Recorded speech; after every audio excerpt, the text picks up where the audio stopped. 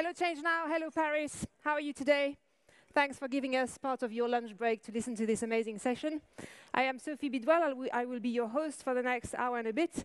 And we're here to talk about a very important topic, which is resilience and adaptation. And the first thing I'm going to do is I'm going to make a confession. So in my day job, I advise CEOs and boards on their strategies for positive change. And I'm also involved with a business called Springwise, which has been spotting innovators and their ideas from all over the world every day for the past 20 years. So I'm deeply in the topic of positive change every day. However, the topic of adaptation and resilience, I have to confess, has not been um, front of mind in the topics that I have followed. And why is that? Well, because maybe subconsciously, if I talk about adaptation and resilience, it means that I'm conceding defeat on the solutions to the climate breakdown. So why am I sharing this story with you? Because um, a lot of what we're going to talk about today is about the psychology of change. And I've got five amazing speakers to talk about adaptation and resilience. And first on stage is Christian Clot. Um, Christian, I'm going to introduce you briefly, although this is very difficult. But Christian is an explorer he is the CEO of the Human Adaptation Institute, and he has decided to dedicate himself to exploration and scientific research for over 20 years, all over the world and in extreme conditions. And the question that uh, Christian is on a quest to answer, I suppose, is that of the human capacity to adapt. So in 2014, he created the Human Ad Adaptation Institute to research and study human cognition and physiology in the face of change. Please welcome Christian for his keynote.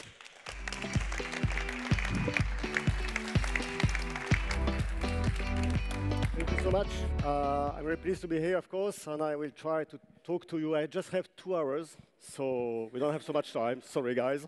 But I will try to talk about you. One is uh, the feeling of adaptation. I mean, we, you have some, some people talking about uh, the mechanism and else. We work about the mechanism, but today I will talk about the feeling of adaptation. It's a bit more than 20 years now. I'm leading expedition all over the world in all kind of environments. Uh, it can be desert, rainforest, uh, polar area. I will talk specifically a bit about uh, the desert, uh, Desert, plus 58 degrees, 3% humidity. That means that when you swallow some water, it doesn't reach the belly and it's evaporating before reaching the belly. That's interesting because we have plus 50 in India right now. Just uh, remember that. It's not something that you can really deal with. You have to try to find some solutions here. Uh, I also sometimes put some people in a cave to see what happened in the brain about time. And uh, of course, unfortunately, or fortunately, I know I work also on uh, uh earthquake, tsunami, this situation where people are facing new kind of conditions. All this situation means that my life is facing changes where I never know what will happen, sometimes in just one minute. If you go in Patagonia, in, a, in a Indonesia sometimes, things are changing so fast, you're unable to just understand what's happening, and you need to cope with. Uh, and it's something really interesting because, of course, uh, if you talk about tsunami like the one in Indonesia some 20 years ago, uh, how people can suddenly understand what's happening to them. It's so quick, it's so big. Uh, other situation, for example, in Africa, this is a nice place I went 15 years ago, and I went back there one year ago. And these places are completely changed. What can these people do? I mean, there are 100 persons living, farming there. What can they do? That's the question we have to ask. Not, do they have enough food or else? No, what can they do? That's all the question I have with my institute, my research institute, about how we can gain information about human being, human behavior when facing this kind of situation. Extreme conditions. That doesn't mean extreme environment. Extreme condition, it's each time someone is facing a condition it doesn't understand. Disorientation. There's something suddenly happening to you and you don't know what to do. You don't have information, you don't have keys, you don't have tools. It can happen when you lost a, close friend or family. It happen if suddenly your world is changing. And why world is changing? Because of environment, of course, climate change, pollutions, all these kind of things. That's the first reason for your environment to change. Technologies is a reason to change also. And we had uh, big technologies change with digital. We had plane, we had cars. All that are changes. And, of course, society. The number of per persons living in the town, the, the amount of persons we have on Earth, all these kind are changes. But what is interesting is it's the first time on Earth, on history of human being, that these three changes come at the same time. All is linked. And what, what we have to understand when we call about when we talk about adapt adaptation or resilience, it's not just because we are facing a problem. We're facing an amount of problem. Things are changing so fast. I mean, we change in a slow pace for centuries. We had some issue, but suddenly we solved it and it was okay. But now we're facing acceleration, increase, it's a craziness in a way. People will face changes, the amount of changes in one year, and a human being we're facing in one life just 100 years ago. What does it mean? What does it mean for us as human beings? What does it mean for us as a brain issue? That's all the question we need to ask. And this is the first answer. When you face a change, you have two strengths fighting in your brain. The first one is trying to really welcome the change. We like changes because we learn with, with changes. A baby is a person trying to understand a lot of things, but also it asks a lot of energy. And in your brain, there's another part saying, don't change, please. Try something new, but after stop. Go back to what you had because it's easier, because it's less energy. Changing need a lot of energy. So it's not easy each person saying you just have to change, it's a wrong idea. You need to focus on to accept this change. Now imagine that you read in the newspaper this morning that an avalanche came down in Chimborazo, hitting the base camp and killing the 10 persons inside. Is this information important for you? A bit, maybe, not so much. 10 persons uh, what, what, happened in Ukraine is much worse, what happened in Africa is much worse. So, okay, it's just an information. Imagine now that the same mountain, the same avalanche, the same base camp, but you have your brother or your sister inside the tent. Then suddenly, this small avalanche, not really important for you before, change your life. What I mean about that, we need to understand it may be hard, it may be ununderstandable, but it's true that people are impacted only by things linked directly to their own emotions. You won't help people to change if you don't hit the emotion of one people. That's something so important. You, you have to remember that. How can we help people to change their behavior, to change what they think about climate or any kind of changes? Find the emotion linked to that. And of course, it's not so easy. Once I was in Patagonia, in a place where weather changed really fast. I was with a small Zodiac trying to find a, a, way to climb a mountain.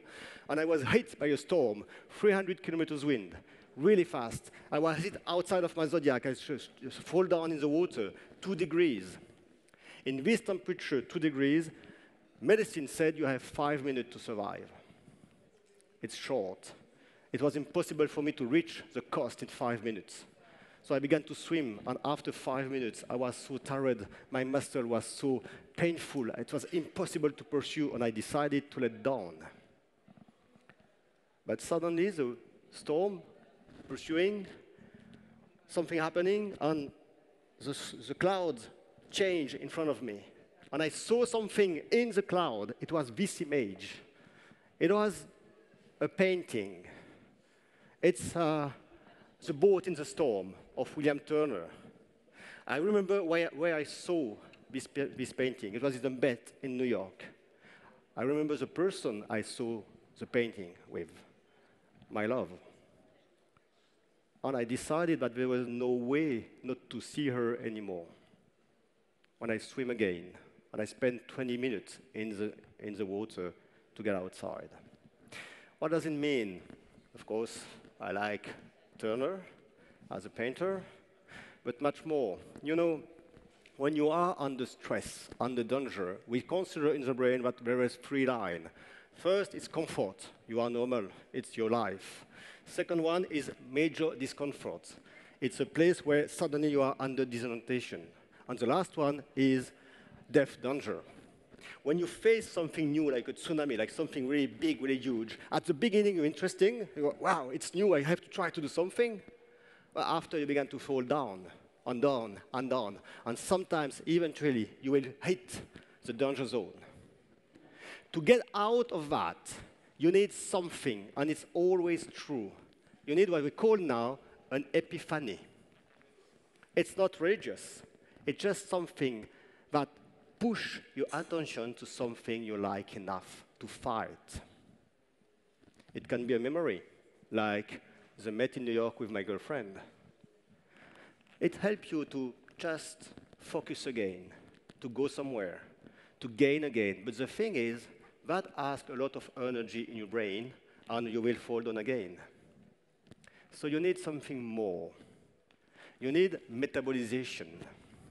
You need to help this memory or this thing to give you a reason to fight.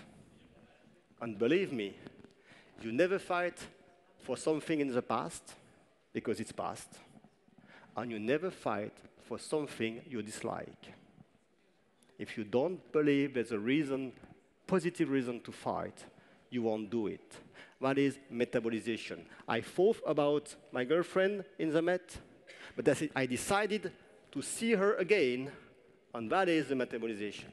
If you want to make people change and adapt themselves and go back to something they can fight for, you need to give them a reason positive to fight.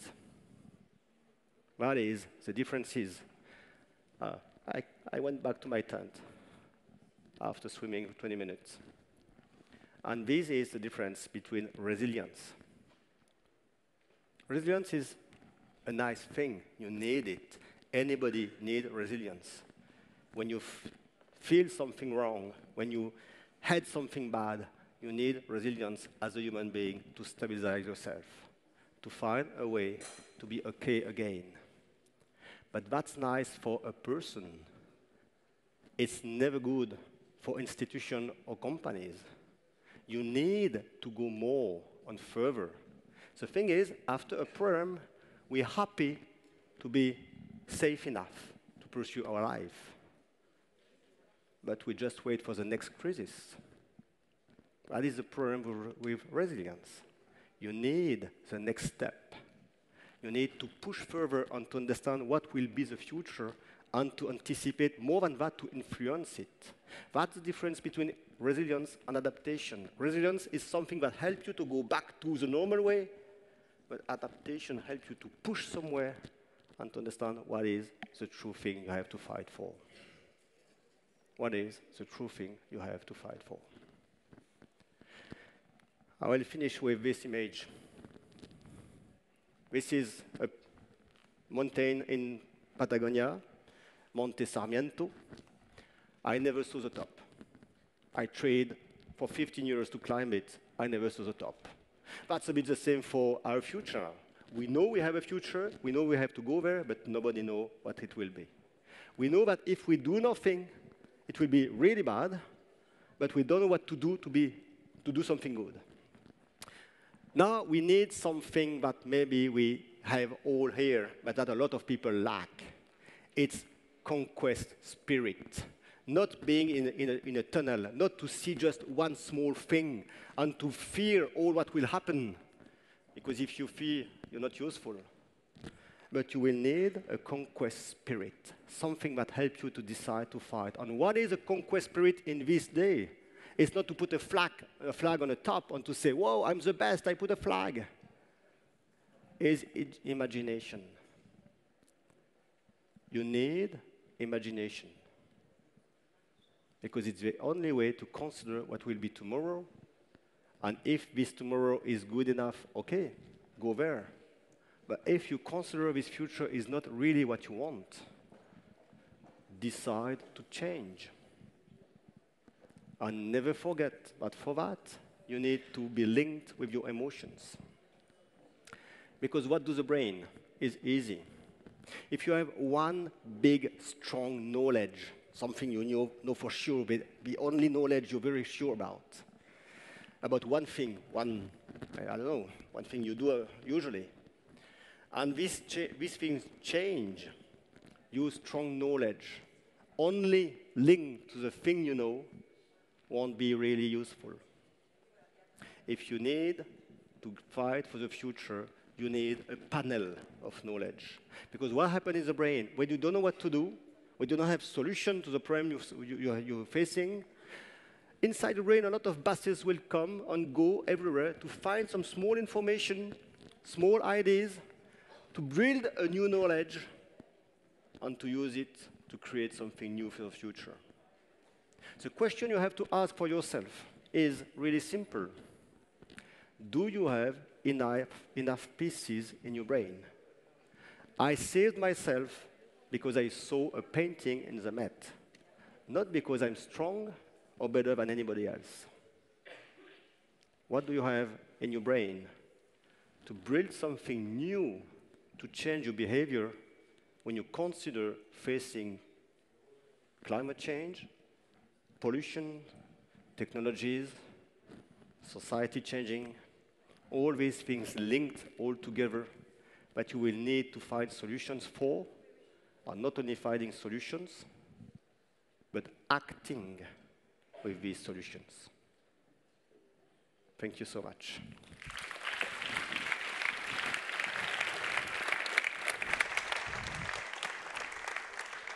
Christian, thank you very much. So much in there. So what I take away from this is that change needs energy and change needs emotions. And in our next panel, we are going to have three speakers who are putting energy and emotions into their endeavors. And we are going to deep dive into the strategies and the solutions that are being adopted by businesses and cities around adaptation and resilience. So can I please welcome to the stage, stage sorry, um, Kathy, Elizabeth, and Antoine, and I will give an introduction when we speak, sit down.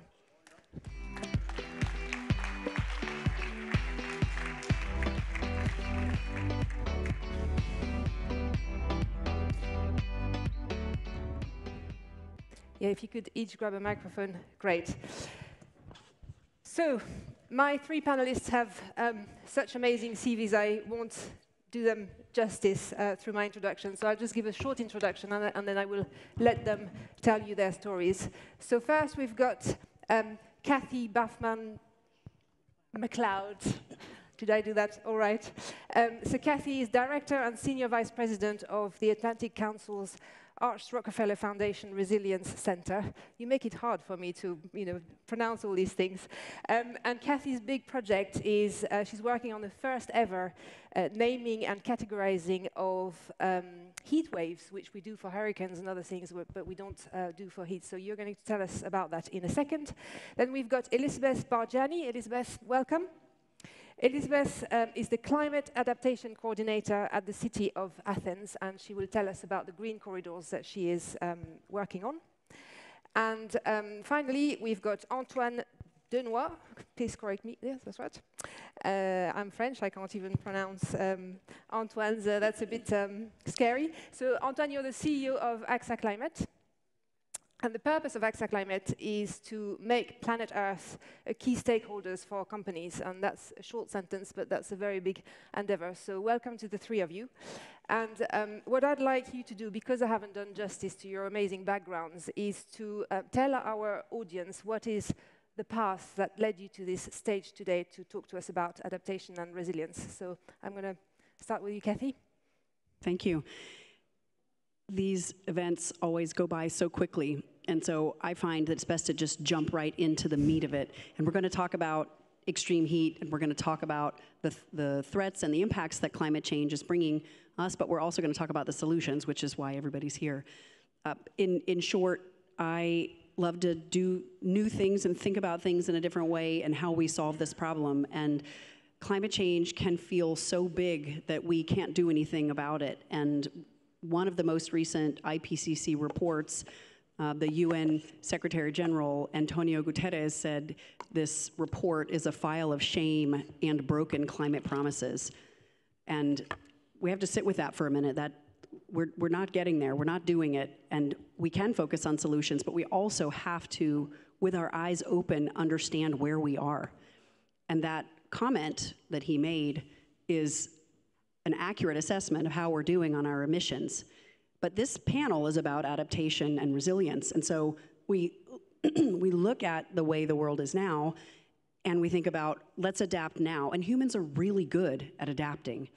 And we're obviously not that great at taking on big, uh, massive challenges like climate change. And so there's an author, and her name is Ayana Elizabeth Johnson. Has anybody read Ayana Elizabeth Johnson's book? It's called um, All We Can Save. And she says that I've stopped looking at the statistics. I've stopped reading those reports. I'm focusing on what I can do with my team, my work, and myself to contribute to the solutions. And I like that. And so today I'm going to take a page from her book to think about what can we do going forward. But we have to start with a recognition of what's happening. So my uh, quick background, I worked at the Nature Conservancy, and I think that the biodiversity and conservation uh, conversation has to be a part of the conversation we have on climate adaptation, as does equity and an understanding of historic um, human conditions as we try to solve climate change.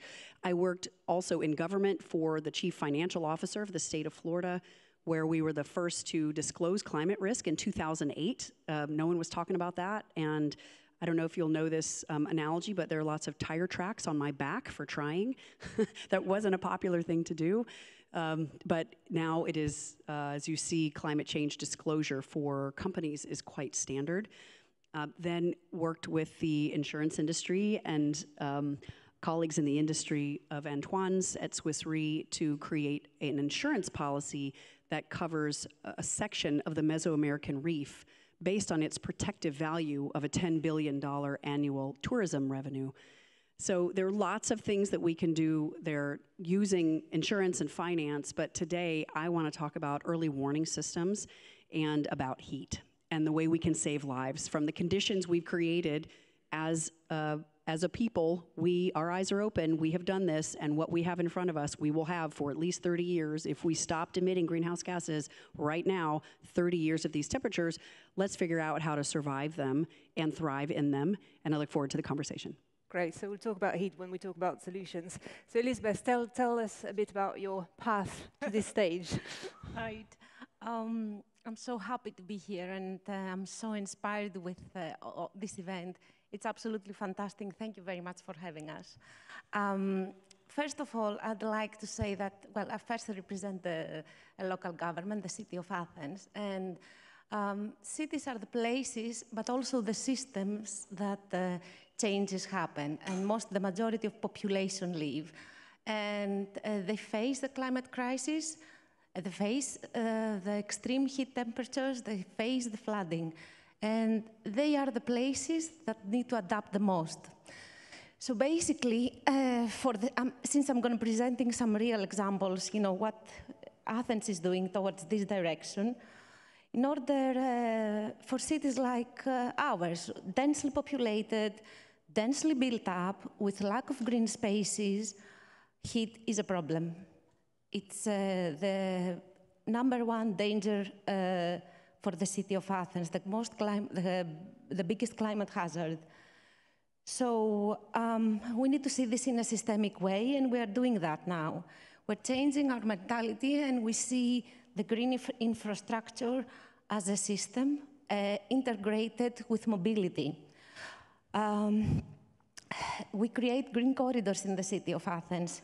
We're building them now. Now we have a small pro no, we have a, a project regarding the city center with a great big walk is happening, um, uh, with, uh, which enhances uh, active mobility and uh, green corridors in the city center, linking archaeological spaces. We are also tendering very soon uh, a project which is really extremely important for the city uh, on a local scale, on neighborhood scale, connecting green spaces of the city uh, with the assistance from the European uh, Investment Bank called Natural Capital Financing Facility. Uh, and uh, that uh, reflects to reducing the heat risks for the city of Athens by creating green corridors and also increasing the biodiversity. But what I really want to talk about, which hasn't happened yet, uh, we, propose we, put in a proposal uh, for 100 million euros uh, for creating a metropolitan corridor in the city of Athens. And that's really interesting because it has to do with water element as well. And Kathy, you probably know about that. It's the uh, footprint of the uh, Roman Hadrian's aqueduct. You probably never heard of it in this audience, uh, but it is an aqueduct that runs from the mountains of uh, Athens, northeast into the, right into the center, bringing 1.5 million cubic meters of water in the city uh, center. So it's a great opportunity that this, the footprint and the infrastructure, the most resilient um, work that uh, underground and uh, old work that we have in the city of Athens to be managed and uh, used for uh, adaptation in the city, not only for the city of Athens, but for the neighboring uh, uh, municipalities. Uh, we are cooperating with the region and the municipalities in order to create a huge investment uh, regarding uh, creating uh, more parks, more cooler parks of the city, uh, creating more cycle routes, and using the water of the aqueduct for irrigation, for irrigation purposes or for cleaning uh, purposes of the city of Athens. Kathy, um, thank you. Uh, amazing. I, I, need to leave some time for Antoine to, I, I need to tell speak his also. story. no, thank you very much for the question. Um, AXA Climate, we were launched uh, four years ago. We are now more than 100 team members. And the key question uh, to connect with uh, Christian Clot uh, keynote is the energy. Where does uh, our energy come from? Uh, first, it comes from an assessment. I don't know if you know this quotation from the insurance space. At four degrees, the world is not insurable anymore. And the key question mark at the beginning for us at AXA Climate was to be able to give an answer to this big question. And uh, for that, we need adaptation. And I think that uh, the key uh, epiphany, uh, to go back to your, uh, your quote, uh, Christian, was this ability to collectively at AXA Climate to shift from one definition to adaptation, of adaptation to another one. First, at the beginning, we thought of adaptation as a, a kind of defensive concept. Uh, to be adapted for a large corporate, it means uh, uh, to build uh, protection against floods.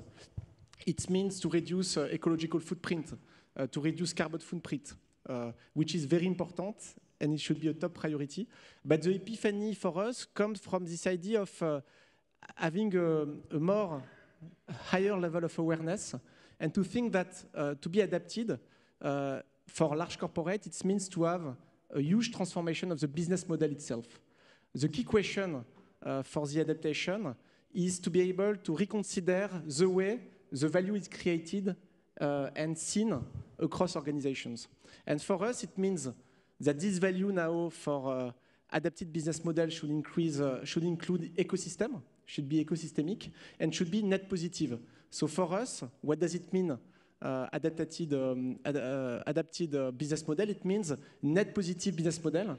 And it's the way, as an insurer, the way we want to support the transition is to be able to support this adapted business model, this net positive business model at the end, at the end of the day. Great. So Christian said it in his keynote, we are all resistant to change because that is how our brains function. And so my question is when it comes to adaptation, you know, it's, it's a topic that hasn't yet had its maybe epiphany in, in the corporate and, and leadership world.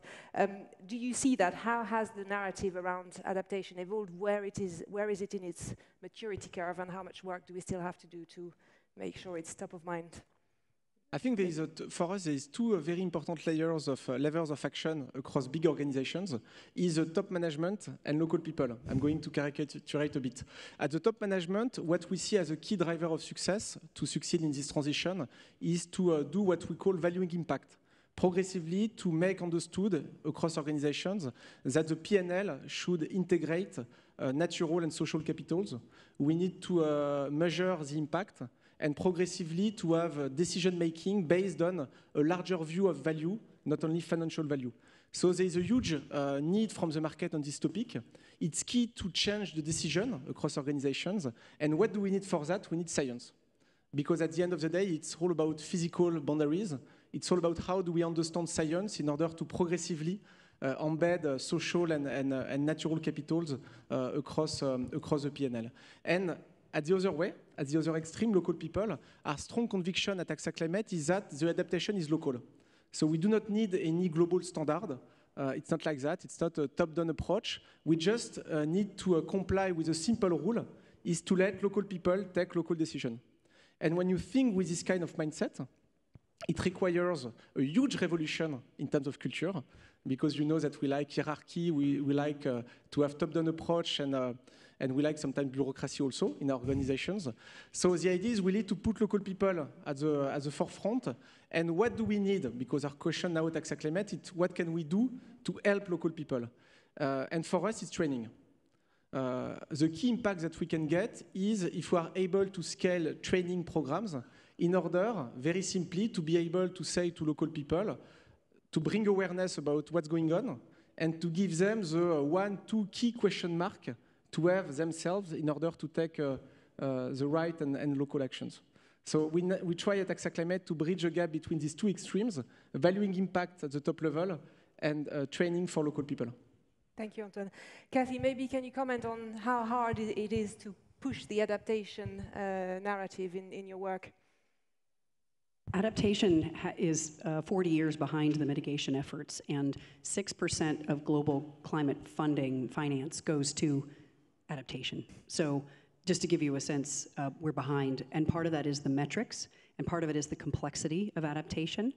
And adaptation is messy and local and multi headed, and we have to just jump in and it's going to be a mess, and we just have to do it. We don't have time to get it just right. I think we want to take the Pareto principle and say 80 20 is fine. We have enough research, we have, there are plenty of um, the, the, the finances there. We need projects, and the project pipeline is the um, is the mother load. That's the thing we're really looking for. And we have to adjust expectations about what that means.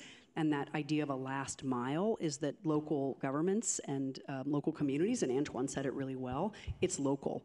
And so local uh, communities have to set their priorities, and you have multiple benefits coming from adaptation projects, but in mitigation, you have a sole metric, and that is how many metric tons of carbon have been avoided. Single metric, really easy to understand. You have um, you have a ratepayer base when this is an energy transition, so there's a, a, the financing model is pretty straightforward, and so we're in the adaptation space looking at the benefits tables. You know, you have economic benefits, but you're not going to have the financial returns that we see in a mitigation energy transition portfolio. And so we just have to get comfortable with that and just get in there and get our hands dirty mm-hmm. and learn from it and share as quickly as possible, um, but get busy. We're, it's urgent. Indeed. Elizabeth, so Athens is doing it. You're doing these amazing projects that you described. What do you think triggered that energy and that, and that action for the city? Well, first of all, it's the um, it's it's the real problem. It's the heat waves, and it's all the crises that we face uh, that led us to that. Well, um, breathing clean air and uh, being in a sh uh, shady place and leaving the city uh, as a local uh, is something that um, we imagine. You know.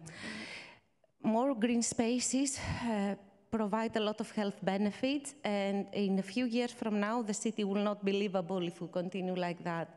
So um, it's, uh, it's an amazing opportunity for the city also to increase the green spaces, but also to improvise and make use of financial tools that um, uh, we participate in. For example, we now are one of the 100 uh, cities for the EU mission for neutral, neutral climate cities and smart cities. So this is mostly for mitigation purposes, but we, we will try to uh, integrate adaptation measures into this proposal that we're coming, and that's really, really important for us. So it's, it's really also driven by experiencing um, the change and the heat. So talking of heat, I know that, Kath, sorry, you want to say No, but something? I have a good example and concrete example of successful adaptation that can tick the boxes. It's not only to reduce uh, bad stuff, it's drip irrigation for agriculture. Uh, when you put drip irrigation, you solve the issue of water scarcity, and also you increase the yield of the crops. So uh, keep in mind this kind of positive stories of adaptation because you can have thousands of positive adaptation stories that just not reduce bad stuff, but increase good stuff. Net positive. Kathy, I know you're dying to talk to us about heat and the work you're doing there, so the I floor just- is yours. the, the time is quick, I know, and I, I want to say, um, just know this, and this is part of the challenge of heat. It's silent and it's invisible.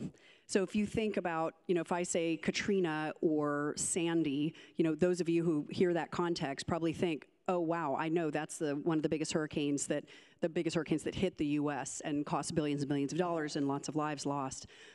But when you think about heat waves, heat waves in the US killed 20 times more people in 2020 than did hurricanes. And your iPhone will shut down at 95 degrees Fahrenheit and um, 32 degrees C. And an airplane can't fly at 120 Fahrenheit, which is 49 C. So we will have significant disruptions because of the temperatures. Our bodies aren't ready for it. Our infrastructure is melting. A million sea creatures boiled in their own shells during a heat dome heat wave in the Pacific Northwest of the US. So we need to move quickly to build our awareness. And they don't rip the roof off of your house the way a hurricane does. They don't make for great television. And so we need to name them and we need to categorize them. And so we are rolling out heat wave naming in Spain, and we're working, Athens is our partner, on categorizing heat waves so that you know a category three heat wave has these health effects to this community, to your community, and it tells you exactly what to do. And so the baseline of adaptation, in my view, is um, about vulnerable people, and the people most experiencing these impacts did the least to cause them. And so the minimum we can do is help save lives. And we think that if you name a heat wave, and our mission is to name them all around the world, and so it's very standard. We name the heat wave, and you categorize the heat wave, and all category three heat waves get a name, and then you know what to do because the, the warnings come out. And so I didn't want to leave the stage without saying that because you want a concrete solution, and this is one of them, and we are rolling it out. And I want everyone to support us in doing that. So, everybody in? Yeah? Okay. All right, good. We can do this. So, Kathy, thank you for th- sharing that. So, so this is obviously the North Star that you're working towards to categorize uh, heat waves and, and, and therefore, you know, bring awareness about the importance of heat. Um, if I have to ask our other panelists what they're working towards, so what's, what's the North Star and the big objective that you're trying to achieve in, in your work? So we want to switch uh, as many business model possible from large corporate, from traditional business model to regenerative business model. For that, we are ready to do uh, all what is needed at AXA Climate. So we are ready to insure what is not insurable. We are ready to train uh, as many uh, employees possible. So we are working on an MBA for regenerative business in order to educate also new leaders tomorrow. We are ready to do some studies uh, in, in form of consulting, of course, but just to project organizations in 10 years' time what is going to happen. And we are also ready to finance key uh, solution of adaptation in order to unlock money for very important topic uh, at the top priority uh, being agriculture. So we are ready to do what is needed and count on us to fight for it. Cheers to that. Elizabeth, what's your North Star? What are you trying to achieve? Well, I think it's really important to, for, for cities and for governments to change the way they work. I really agree with what you said about the culture, about the work culture and the mentality that people have in, in their institutions. So um, in, in our department, for example, we break up the silos of the local administration and we work horizontally with all uh, aspects, with the private sector, with the other departments of the city of Athens, and also with uh, the civil society. So that uh, the building capacity, building the, uh, having more, to, um, more uh, specialized uh, and trained people in the culture of the city is something that we really focus on. And we uh, want to work horizontally and uh, bring out the message for what is important and what is not to, to invest and focus on as a city. Thank you. Okay, we're coming to the end of our session, so I'd like to end on a hugely inspirational high, please. And wait, wait, wait, I'm not finished. So, um, so this is my last question. Um, if I give you a megaphone that the whole world can hear, what would you like to say in it? I'm going to start. You don't know. Alors, you do we- know. We need to do a massive cultural revolution across our traditional organizations. At the first level, uh, are big corporates. So massive uh, cultural revolution. Be brave and let people, uh, local people, decide. okay, that's good. Thank you. Elizabeth? Well, um, I was really inspired with what Christian was saying, and I do agree that um, uh, you change when you love something, and when and you also change uh, when um, uh, that you want to protect yourself. So basically, um, that's uh, something that I would like to to focus on and just bring out this message. I totally this is, was very inspiring for us. Very Thank right. you.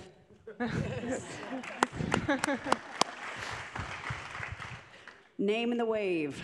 Name the wave. Okay, guys, thank you very much. Kathy, Elizabeth, Antoine, thank you so much. Right, the grand finale. I am very delighted to welcome Sonam Wangchuk on stage. Sonam, I'm going to say a few words about you before you um, come up. So Sonam comes from the Trans-Himalayan region of Ladakh in India. He is an awardee of the Ramon Magsaysay um, Award. This is the Asian version of the Nobel Prize. And he has been working in the field of education reform for over 30 years. He's a climate change activist, and with his students, he designed some of the most incredible solutions to the climate crisis that he's going to tell us about. So please welcome, welcome Sonam Wangchuk to the stage.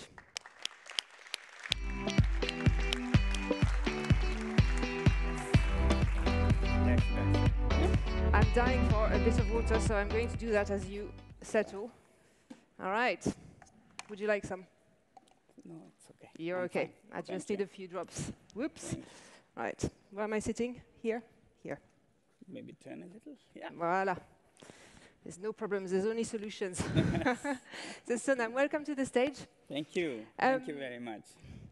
So, your, your roots are in education, really. You've been working in, uh, for education change for over 30 years. Um, this here, we're here to talk about adaptation. So, can you explain to us the path that leads from education to adaptation, please? Well, to me, education is always about the challenges that the people are facing and to find solutions to them. Education is not a set ritual that has to be done if the problems change. So, when we were hunter gatherers, perhaps education was to, you know, be fit and be very skilled at hunting and gathering. When we settled as farmers, education was to make the most out of the land. And then uh, much later, industrial revolution came when production was important. So people adapted to that and trained people to extract the most out of nature. And today we are faced with the outcomes and consequences of that, which is uh, much more than what it started.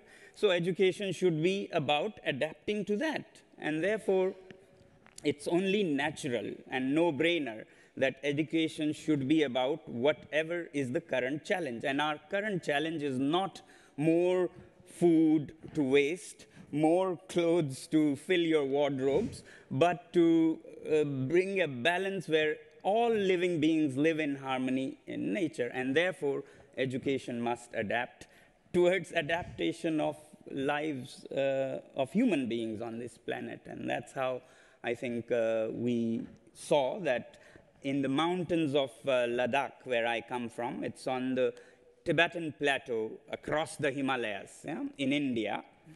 Um, we saw it more uh, stark there, the effects of climate change, and it was natural to engage students in finding solutions uh, through adapting to the mountains for, in our case. Yeah. Sure. So can you just help the audience connect with, with maybe the picture of um, what, it, what it feels like uh, where, where you live and where you're in the communities you're, you're helping in terms of the impact of the climate breakdown? What is it actually feeling like? Yeah, I think it is very important because uh, you live your lives in Paris and New York and New Delhi. Uh, we see the consequences of your actions up in the mountains. We are at the forefront of uh, climate change, uh, it seems. So I'll just give you some examples. The only reason why life is possible on the mountain deserts of Ladakh is our glaciers, kind of fossilized water from hundreds, if not thousands of years ago. Otherwise, life shouldn't be possible there. If I look out of my window in Ladakh, it looks more like Mars or Moon. The main difference is that we have some glaciers, uh, ice from decades and centuries. And now, with the global warming, these glaciers are melting away very fast, and they are not just going away quietly. Of course, as they go, it causes uh, droughts every spring. There's shortage of water because these glaciers are getting smaller and smaller. But much worse, they're leaving behind flash floods and droughts alternatingly. So, to give you a taste of it, 2006 there was a big flash flood in the village where we have our school in the valley. And I went as a volunteer to help the families affected. Several families had their houses washed away, people had died, farms were all gone. And I asked an old man in the village, I said, uh, When did you last see such a flash flood? And he scratched his head and said, I have never, I have, uh, since my childhood, I've never seen but heard of such things from my ancestors or elders. That was 2006. Next was in 2010 when roughly 1,000 people disappeared and many more houses were washed away in the main city of Leh in Ladakh. And the next one was 2015. The next was 2017, something that the old man had never seen. So that's the frequency of uh, flash floods, and each flash flood takes away all the fines and of the soil and vegetation, which are what absorbs any water. And then the next flash flood is, uh, even if it doesn't uh, rain much or glaciers don't melt, there's nothing to hold. So it's a vicious cycle. Thank you for describing that. And um, I'm sorry to do this to you, everyone, but I think it's really important to hear the real stories of, of, of what's happening because of the impact of, of what we're doing. So, however, we're here to talk about solutions. Yes. So, and you've, you've come up with some incredible solutions. So, tell us about some of the innovations that you've been working on with your students and, and in your projects. Yeah. Uh, more than innovations and adaptations, I think we need to actually redefine things that we do today in 21st century. So education itself needs to be redefined to lead to solutions to our problems, as I said. And therefore, we try and engage young people in the solutions using their chapters in the textbooks. I, uh, uh, together with others, started a school that was for those who were failed by the system. You know, the criteria of admission in our school is not your marks or grades, but that you have failed Brilliant. in the system. And uh, they have amazing capabilities that the system doesn't recognize. So in any case, it's always good for students, uh, normal, natural students like these, to be taught in practical, applied, hands-on ways.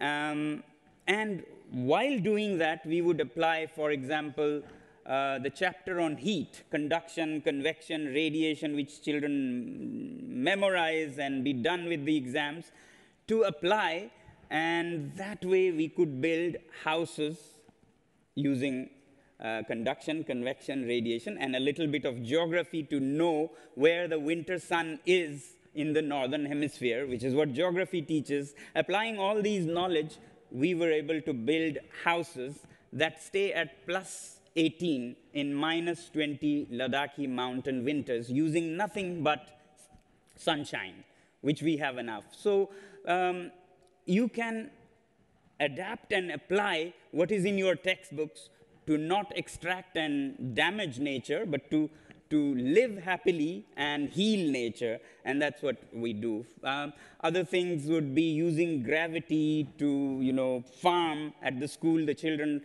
produce their own food, vegetables, they keep cows, but every time they take charge of milking the cows, they use mathematics or statistics from mathematics to track, track the productivity of the cows, and they make their bar charts and pie charts to express uh, what they learned. So it needs to be adapted that way.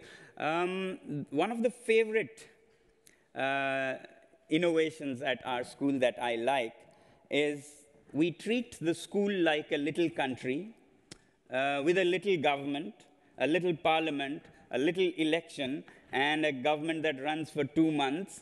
And they take charge of the school as a country um, and learn about life, how to be ready for life and be um, you know, active as soon as you school, uh, leave school. And they are very much in demand in society, in business, in politics, in leadership, and so on, these students.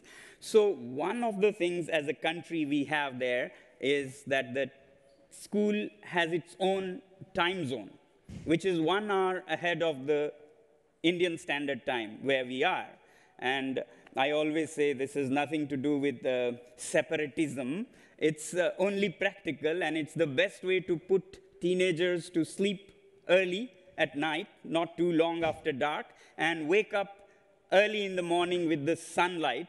And that um, makes such a saving of energy. Uh, and I say if seven, eight billion people of the world just went to bed one hour early and got up one hour early with the sunshine, they could save or close many nuclear power plants and coal power plants. Yeah?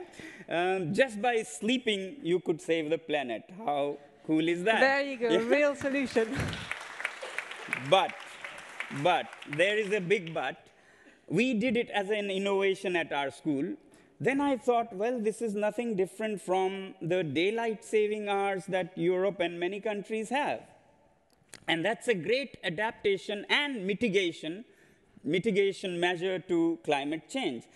And then what I hear from a European friend is that, but sadly, European Union is considering scrapping that. You know, here I was saying if China and India also did daylight saving hours, imagine the number of power plants that could be shut because of this one hour of intensive energy use. I think this is a very retrograde move uh, if Europe, our model, suddenly disappears. So I think this conference should send a loud message that such uh, adaptations that were done maybe um, you know early 20th century should actually be reinforced rather than given away. And the reasons were that there, people are confused, people find it hard to get up early uh, in spring or winter, whichever. Those are such small reasons. So I really think um, countries like China, India should join daylight saving hours, and please don't let your governments um, change this. But the governments change when people want that change. So it says that 2018, 4.8 million Europeans uh, voted for scrapping this. It would be a very uh, backwardly move. So such um, innovations, which are not even innovations, I brought it up with our school because you can then see the value in it, but you are already doing it. Mm, similarly, uh, coming to innovations, as I said, our glaciers are melting away very fast uh, thanks to global warming, which we have nothing to do, but we cannot escape the consequences. Uh, so we, few years ago at our school, said, how about freezing the water in winter in the streams that go waste? Because in winter, nobody farms in a cold place. But there is a stream that flows even in winter. Now, if you freeze it, then you could keep it till summer when there's such shortage of water. But everybody laughed, you know, how can you keep winter ice till summer? it uh, will melt away by March. All snow and ice is gone by then. But to our help came geometry. So we made ice, or we froze the unused water flowing in the Indus that would otherwise go into the Arabian Sea, um, not just as flat ice, because that would melt by March. Geometry teaches you, school geometry, that there are shapes like spheres and hemispheres, or even cones, that have low surface area for the given volume. So we said, how about freezing our ice in one of these shapes? And cones are very easy to do. So we made huge cones of ice that are like 10 stories tall and store millions of liters of water, 10 to 12 million liters of water. And sure enough, these uh, cones or pyramids of ice last till June and July, slowly melting and giving the water for planting trees and helping in farming. Because these looked like uh, beautiful conical white uh, shapes that resemble uh, something you see all over the Himalayas and Tibetan plateau, a spiritual monument called stupas. I don't know if you know. We said innovation should not end with the lab. Uh, we should also make it close to people's hearts. So we called it ice stupas. And suddenly people took to it. Spiritual leaders, uh, you know, blessed it, and elderly people started prostrating and adopting it. So innovation can be in various forms, and uh, these are small uh, innovations that help a little bit, but much more needs to be done. Amazing. Thank you for sharing that.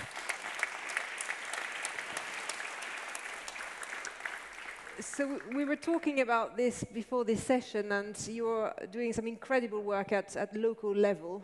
Um, what does it what does it take to make change happen at scale? What are some of the lessons that you've learned on your journey to help push the change at scale?